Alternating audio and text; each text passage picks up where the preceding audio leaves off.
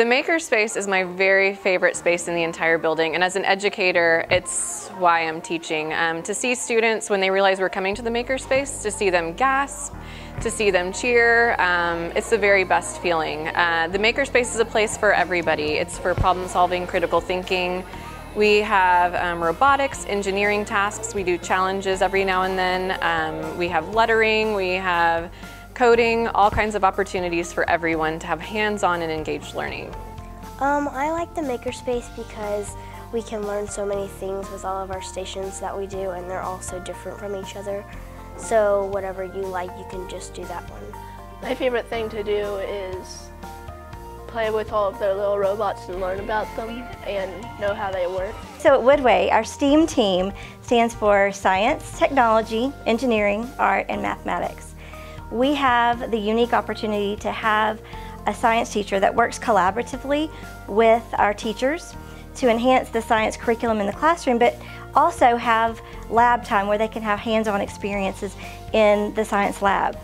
We also have a campus technologist and an instructional technologist that work together to um, help with the technology piece of it for our students and teachers so that they can um, really take that technology to the next level?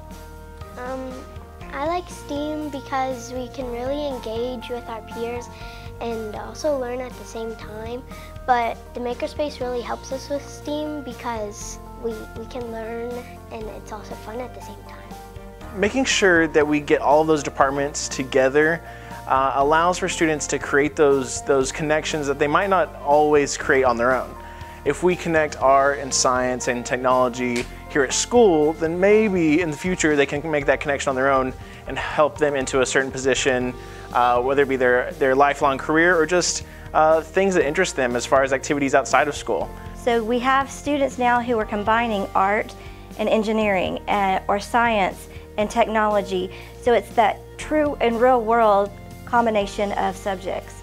And so it's really spawned a lot of interest between our students with, with new possibilities of careers in the future.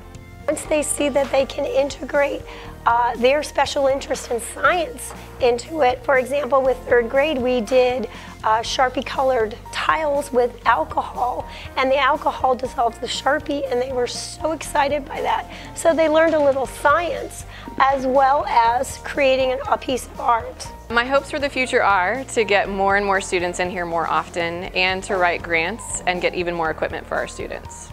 For the future, I would love to see the makerspace area grow, um, not only in the applications of what can be done in there, but the collaboration with our teachers as well. We have many teachers who are now using that and collaborating the writing or their science into um, the actual makerspace area. So I'd like to see more of our classrooms using the technology in our makerspace area and, and just take advantage of the opportunities that we have.